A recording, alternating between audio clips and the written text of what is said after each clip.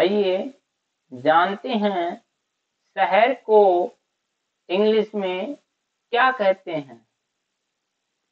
तो शहर को इंग्लिश में कहते हैं सिटी उदाहरण के लिए 20 वर्षों में शहर शायद ही बदला था। तो इसको इंग्लिश में हम कहेंगे the city had scarcely change in 20 years